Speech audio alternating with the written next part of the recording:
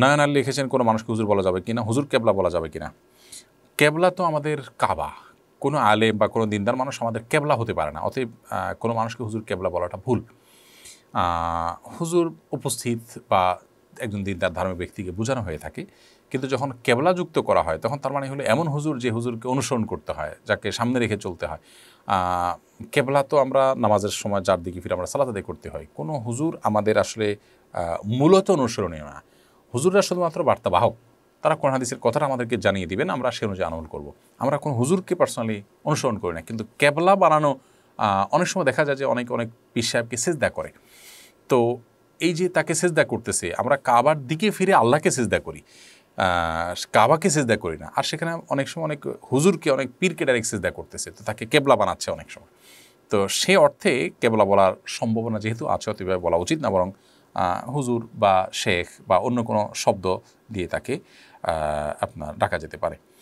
এমনি শামীম হোসেন আপনি লিখেছেন, মসজিদের ইমাম সাহেবকে হুজুর বলা যাবে কিনা? হুজুর বলাতে কোনো অসুবিধা নেই। আমরা অনেকে এটা নিয়ে অহেতুক বাড়াবাড়ি করি। হুজুর শব্দের অর্থ যদিও উপস্থিত আমরা অনেকে মনে করি যে একজন মানুষ অনুপস্থিত থাকলেও আমরা তাকে তার অগোচরে বলি, হুজুর এসেছিলেন বা হুজুর চলে গিয়েছেন। তাহলে তিনি অনুপস্থিত, তাকে আমি উপস্থিত কীভাবে বললাম? এগুলো আসলে একেবারেই অমূলক কথা। কারণ হলো আসলে কোনো শব্দ দ্বারায় যখন একটা বিশেষ মিনিং পরিভাষায় নেওয়া হয়, তখন এই শব্দের মূল অর্থ কি সেটা আর বিবেচ্য থাকে না। অর্থাৎ হুজুর বলতে এখানে একজন আলেম, একজন দিনজার একজন ধার্মিক মানুষ, সম্মানীয় মানুষ বাস এটুকুই উদ্দেশ্য হয়ে থাকে। এখানে উপস্থিত অনুপস্থিতির ব্যাপারটা একেবারে গৌণ থাকে।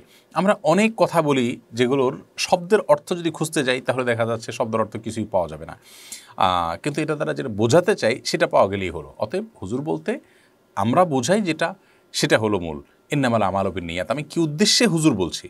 বলছি হলো একজন আলেম, একজন দিনদার মানুষকে বোঝাবার জন্য। জাস্ট অতএব হুজুর অর্থ, হুজুর শব্দের অর্থ সেটাই।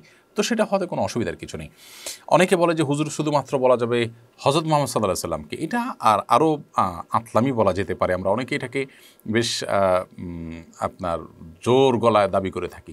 নবী করিম সাল্লাহ সাল্লামকে কোনো দেশে কোথাও হুজুর বলাই হয় নাই। ওনাকেও যে হুজুর বলা হয়, সেটাও আপনার এ অর্থে। যে ধার্মিকদের আপনার গোড়া মূল তিনি আলেমদের মূল তিনি, সেই জায়গা থেকে তাকে হয়তো হুজুর বলা হয়। কিন্তু তারপরেও হুজুর এই উপাধি না বলে তিনি আল্লাহ রসুল আল্লাহ হাবিব আল্লাহ নবী এরকম উপাধিতে বলাই তাদেরকে, তাকে উচিত। বরং তাকে হুজুর না বলে তার যে উপাধি আছে সেগুলো তাকে বলা উচিত। কিন্তু আমরা অনেকে মনে করি তাকে হুজুর বলা হয় হুজুর সাল্লাহ সাল্লাম বলা হয়, সেজন্য অন্য কাউকে আর বলা যাবে না। এটা একেবারেই ভুল ধারণা।